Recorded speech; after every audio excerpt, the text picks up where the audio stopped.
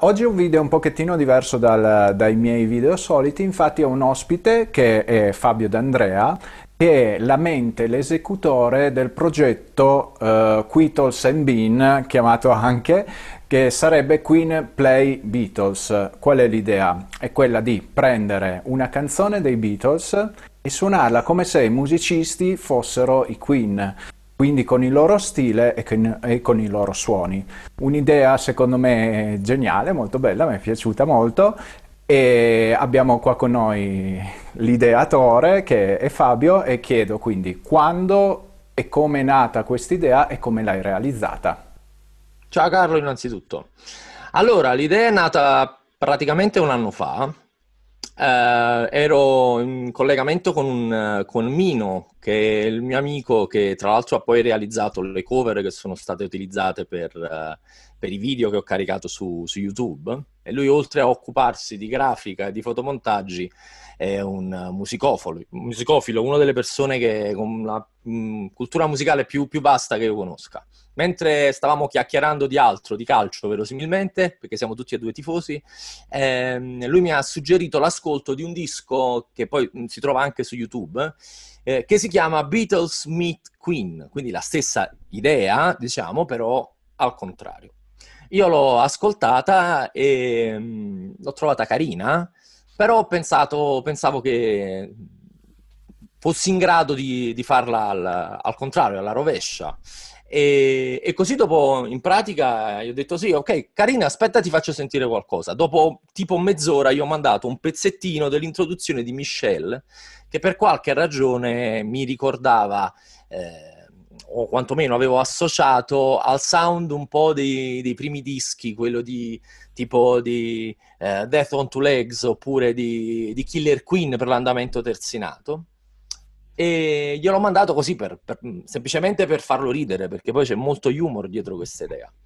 E mi sono accorto che in realtà funzionava sorprendentemente. Per cui ho iniziato questo che è diventato un po' il mio, il mio hobby, il mio passatempo. E da allora ne ho realizzati nove, sto realizza- realizzando il decimo, il, decimo, il decimo brano. È un po' un esercizio di stile, è molto un esercizio di umorismo e, mm, mi serve, è un, è un esercizio, una pratica che è utile per il mio lavoro di eh, songwriter, di produttore di musica leggera e poi ovviamente è anche un tributo alle mie due band preferite che sono i Beatles, come si può vedere anche da, da quella splendida illustrazione che contiene tutte le chitarre utilizzate dai Beatles e, e i Queen. Grande, quindi una bella passione eh, appunto sui Queen e sui Beatles perché poi prima mi hai citato anche un brano dei Queen non è dei più famosi, quindi bisogna essere già scafati all'interno del repertorio de- sia dei Beatles che dei Queen, immagino, vero? Sì, diciamo, i Queen in particolare li ho navigati in maniera profonda, in lungo e largo, per tutta la mia adolescenza. Adesso sto diventando vecchietto, come si vede dai capelli bianchi, e ancora li ascolto, nonostante poi eh, facendo il musicista abbia ascoltato tutta la musica del mondo, però visto che i lavori, soprattutto quelli dei primi anni, erano lavori molto profondi con diversi livelli di lettura, ad ogni età ho trovato un nuovo livello di lettura per continuare ad amare i Queen. Stesso discorso vale per i, per i Beatles, insomma, che, forse ancora di più hanno un uh, repertorio talmente stratificato dal punto di vista delle possibili chiavi di lettura che non si smette mai di ascoltarli e sembrano i Beatles più di chiunque altro sembrano nuovi. La loro musica loro in otto anni hanno fatto tutto quello che c'era da fare nella musica leggera e dopo 50 anni stiamo ancora rifacendo fondamentalmente quello che loro hanno, che loro hanno fatto in pochi anni negli anni 60. Esatto, quindi è una, una sperimentazione. La loro intendi? Esatto. Assolutamente, assolutamente. Loro, dal punto di vista e compositivo e delle tecniche di registrazione e di produzione, e in, eh, ripeto, ovviamente avevano delle praterie davanti, ma le hanno percorse tutte, quella era la cosa, la cosa fantastica. Per cui eh, in Nuce c'è qualsiasi idea eh, che poi è venuta ai produttori di musica leggera e di rock nei 50 anni successivi, già, era già tutto stato fatto lì, da, eh, da, loro, dai tecnici del suono con cui hanno, lav- hanno lavorato, gli arrangiatori, i produttori, c'era, c'era tutto. Gli stessi Queen ripetutamente hanno detto che si, siano, si sono ispirati, hanno eh, in, idealmente proseguito il loro percorso sia dal punto di vista del songwriting sia dal punto di vista dell'utilizzo delle tecnologie. Mm, hanno preso eh, il testimone dall'otto piste che utilizzava i, eh, i Beatles e l'hanno portato sui 24 e 16 canali che loro, che loro utilizzavano, u- utilizzando quelle tecniche e espandendole, insomma. Esatto, quindi veniamo a quello che hai fatto te. Eh, in pratica tu hai fuso questi due mondi in un gioco di citazioni. Eh, spiegaci com'è, come, come ti è venuta. Il gioco di citazioni. No, no, è giustissimo. Dietro ci sta molto il senso of humor, che se vuoi è quello dei, eh, degli Elio le storie tese. Cioè il che poi è un esercizio proprio tipico della pop art, decontestualizzare, prendere un elemento, un frammento melodico, un suono, un timbro, eh, prenderlo dal, dal, proprio contesto e spostarlo in un altro contesto per fargli cambiare significato. In questa maniera poi ci sono una serie di richiami, di rimandi eh, tra i due mondi e in alcuni casi l'effetto è straniante. C'è gente che mi ha detto che si è spaccata la testa perché eh, quando ho fuso insieme Another One Bites the Dust e uh, Come Together, il giro di basso che eh, ovviamente era uno era l'altro invece era mettendoli insieme è venuto.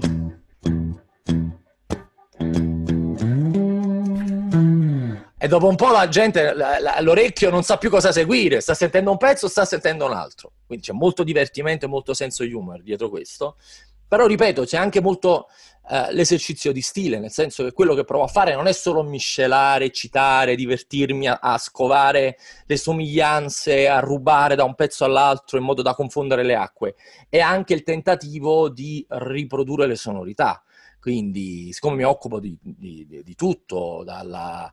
Eh, dalle voci alla, alla, alla, registrazione, alla programmazione delle batterie, le, le, parti di pianoforte, tutto quello che serve, cercare non solo di riprendere le note che vengono suonate, ma anche i timbri che venivano utilizzati e, e il, il lavoro di produzione, di imitarlo il più possibile, perché questo non solo rende più divertente il risultato, ma è anche un esercizio per me. Esatto, e, e qui volevo anche chiederti, io quando ho ascoltato i tuoi lavori ho detto qua non è una persona normale, c'entra anche il tuo lavoro, cioè tu non è che lo fai così solo di hobby, quindi... No, no, è la... E, e, mi occupo di produzione musicale a livello professionale in maniera molto originale, perché da 12 anni eh, ho, ho, lanciato io e la, e la, allora mia compagna, adesso mia moglie, eh, abbiamo lanciato un sito internet che si chiama Canzoni su misura, tramite il, il quale io produco canzoni che diventano idee regalo. Questo è il core business della mia attività. Eh, in 12 anni ho realizzato centinaia di canzoni, migliaia di testi e ovviamente da questo core business poi ci sono una serie di propagini per cui mi occupo di musica per la pubblicità, eh, inni sportivi, eh, qualsiasi cosa che riguardi la produzione, la produzione musicale. Quindi ehm, uh, in questi anni ho aumentato la mia, la mia esperienza che è passata dal suonare degli strumenti al occuparmi della produzione a 360 gradi. Quindi non sono più tanto interessato a come si suona il sol minore, sesta o come si fa il bending, eh, o lo slap, visto che suono, suono, anche il basso, anche se non bene come te, eh, però ehm, la, la, mia attenzione è più focalizzata su come si producono i suoni, come si crea un effetto eh, sonoro con una visione un po' più ampia. A questo proposito, cosa, cosa hai utilizzato come, per registrare e per arrivare al suono? Soprattutto penso Brian May che come suono di chitarra è molto molto particolare, ma anche John sì. Deacon comunque. Assolutamente. Eh, per quanto riguarda eh, il, il, contesto, eh, utilizzo, la piattaforma che utilizzo è Logic e ehm, tutto quello che utilizzo uh, per effettuare le registrazioni e i suoni è tutto quanto nativo in Logic, non utilizzo plugin esterni, qualche plugin di Waves per eh, il mastering o per qualche compressione, eh, ma per il resto gli ambienti e poi ah, soprattutto le simulazioni di chitarra, di, di, basso, i campioni per la batteria, sono tutti quanti quelli nativi di Logic, che poi sono quelli che chiunque abbia un Mac eh, si trova a casa con GarageBand, insomma. Quindi è una cosa che può, che può realizzare in realtà chiunque. Quello è il contesto in cui, eh, in cui mi trovo. Eh, fondamentalmente il, il, uno dei punti che voglio eh, affermare con questa idea eh, è che la strumentazione è fondamentale, ma che l'orecchio viene sempre prima della strumentazione, che uno dovrebbe sempre imparare a sfruttare al 100% la strumentazione che ha prima di incuriosirsi ad espandere proprio, la propria attrezzatura. No? Io sono per ear before gear, insomma, prima l'orecchio, poi gli strumenti.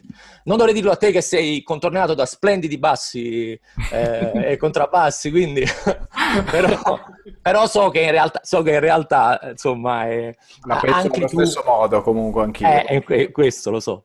E ehm, per questo... Um, per, per, quanto riguarda il, il, poi per venire ai suoni di Brian May e di, e di, uh, di, John Deacon in particolare, per quanto riguarda Brian May ero fortunato perché quando mi è venuta questa idea avevo da poco modificato questa chitarra.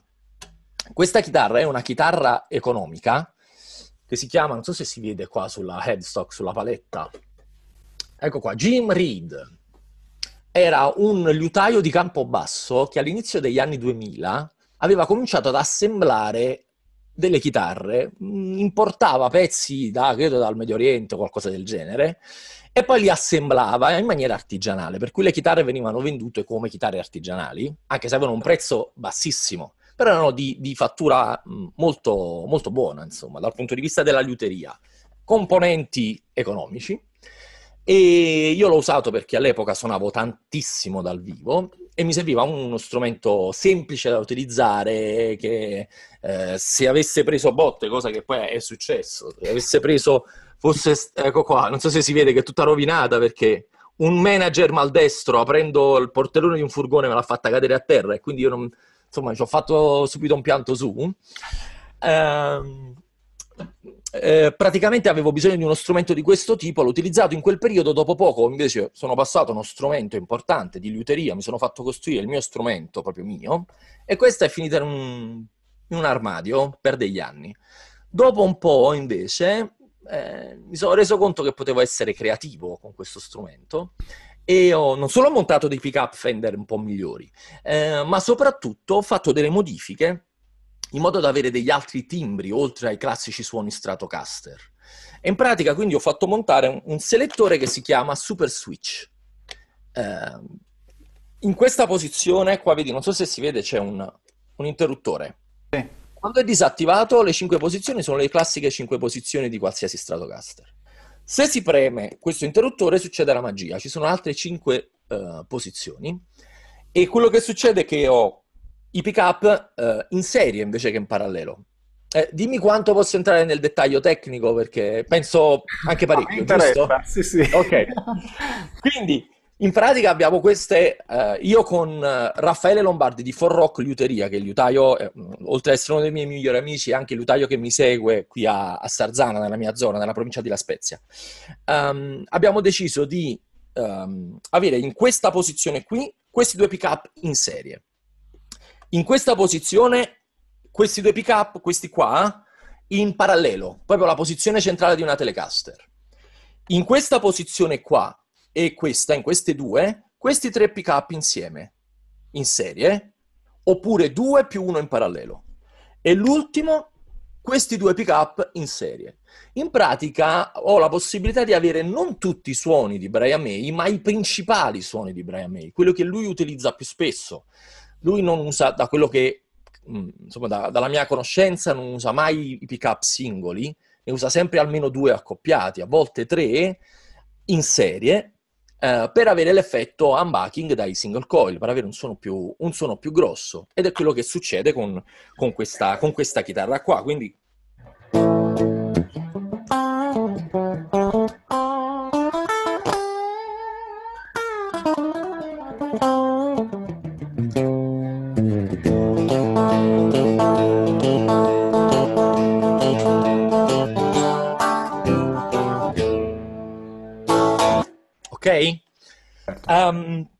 mi bastava perché mancava una cosa per avere i timbri proprio un po' alla, alla Brian May eh, e quindi ho fatto montare anche un, un uh, pick up push pull, non so se si vede qua, che fa una ulteriore magia, inverte la fase del pick up centrale.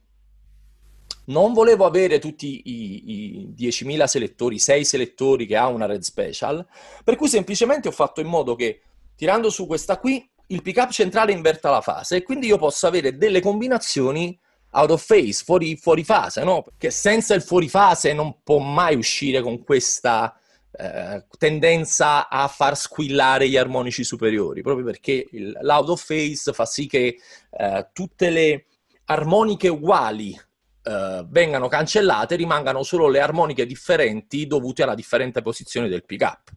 Uh, e quindi c'è un, è un classico taglio sulle basse, vengono enfatizzate le frequenze alte e succede questa cosa che solo la chitarra di Brian May può fare. E ehm, costo della modifica? Non me lo ricordo, ma finché se, se dico un, prezzo sbagliato Raffaele si arrabbia. Comunque nel, nell'ordine delle decine di euro, insomma, più o meno. Eh, non andiamo oltre i 100 euro, una cosa del genere. E, ehm, e l'ho fatto per avere un'arma in più, perché mi servono colori diversi per il mio lavoro. Era solo questa l'intenzione. Quando poi mi sono messo in mente di fare le cose, eh, insomma, di emulare il suono di Brian May, eh, la chitarra mi è tornata molto, molto utile, ovviamente. Ottimo. E sul basso invece come, come ti sei mosso? Il basso che, um, che, tu senti nella maggior parte dei pezzi è il mio vecchio Music Man che ho venduto da un po' di tempo. Avevo Music Man 5 corde.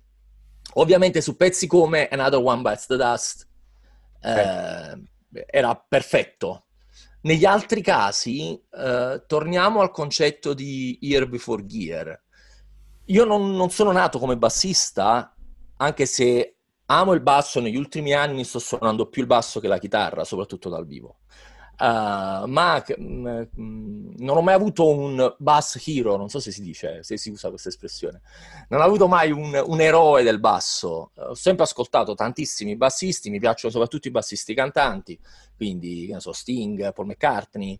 Um, e, e, più che appassionarmi al timbro, ho, sem- ho sempre prestato attenzione al tiro, al groove, al modo in cui si occupa lo spazio alla parte ritmica del, del, del, del playing dei, dei, bassisti. È uno di quelli che ho, io ho scoperto che esisteva uno strumento che era una chitarra un po' più grossa, che faceva un suono più basso, con i pezzi di John Deacon, con I of Magic, con Another One Bites the Dust, guardando, guardando da, da, ragazzino live at Wembley, dissi, uh, ma questo è, è interessante.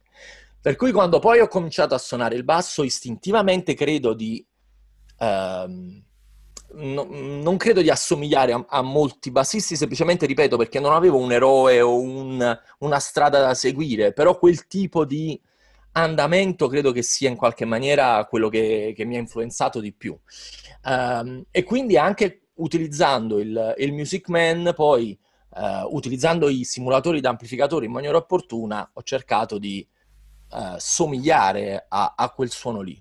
Poi ultimamente invece ho cambiato strumento, ho venduto il Music Man e ho preso un economicissimo Cort, spero che non sia una bestemmia, oh no. eh, che però eh, con il pickup, a due pickup soap bar, con quello diciamo centrale, ha un suono che è sufficientemente simile a un Precision, è un po' più chiuso di un Precision, per cui per esempio nella cover di A Day in the Life, che era un po' ispirata alla sonorità di Bohemian Rhapsody, uh, ho suonato con quel mm, pick-up lì, sono anche reccato il dito tra una nota e l'altra, come fa John Deacon, giusto per, per scaramanzia, e il risultato è abbastanza credibile. C'è anche un'altra cosa che ho fatto per il basso, e te lo mostro, è una cosa che, di cui sono molto orgoglioso.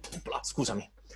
Su due pezzi della, della serie, che sono um, che sono Yesterday ispirato a 39 e uh, When I'm 64 nello stile di Good Company, ho utilizzato il fretless per avere un, un suono un po' più contrabbassistico, tra virgolette, e ho utilizzato questo fretless che è il mio primo basso E la storia di questo basso è un po' simile alla storia di quella chitarra. Era un normalissimo basso economico da cinese, della Eco, credo. Adesso io ho cancellato il, il logo, ma era un Eco.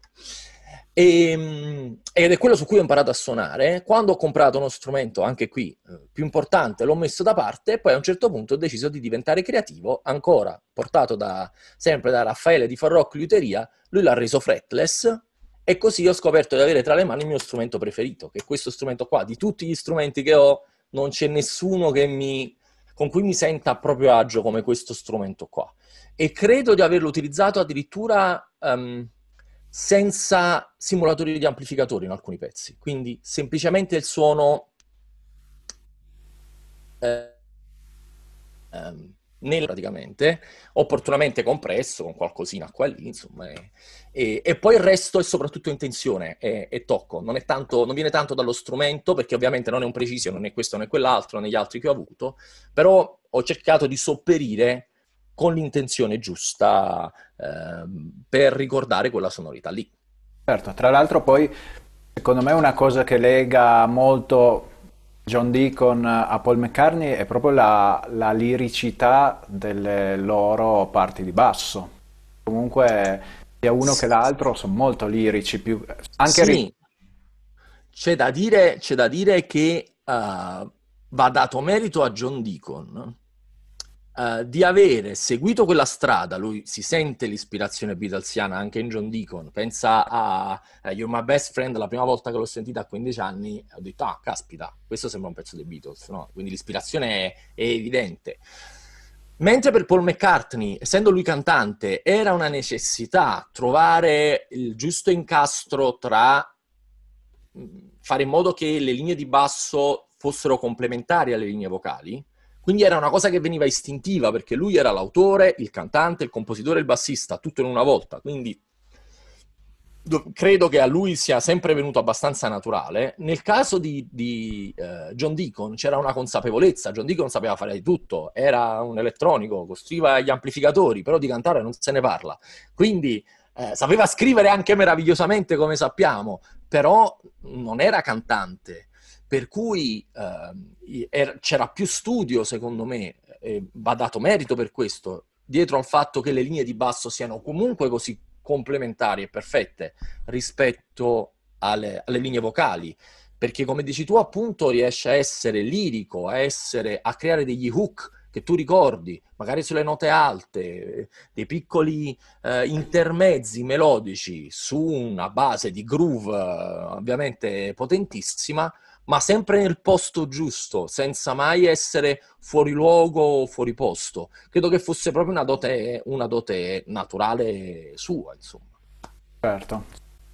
Bene, dai Fabio, grazie mille per la chiacchierata, è stato secondo me molto istruttivo e particolarmente piacevole. Eh, come ultima cosa ti chiedo, visto che ci sarà gente che guarda il video, spero, dove può trovarti, dove può ascoltare questi, questi pezzi?